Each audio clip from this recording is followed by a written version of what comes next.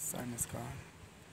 It's what is left is just to make sure the law also work on what was the cause and why was the negligence leading to this. But finally, we'll try to find peace.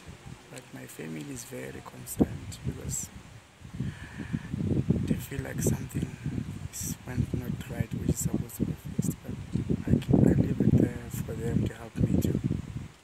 Okay. And what have the police told you so far? Nobody's come to us. You've taken statements? Nobody came since the death of my child, since I left the hospital. Wow. And I can you went just to just look for them, but I never got help. and what kind of a child was Owami? Very intelligent like me.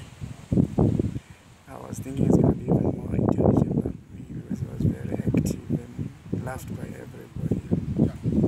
And what will you miss most about him? I miss when he's gonna jump and come smile to me and be scared of me when I discipline him and that.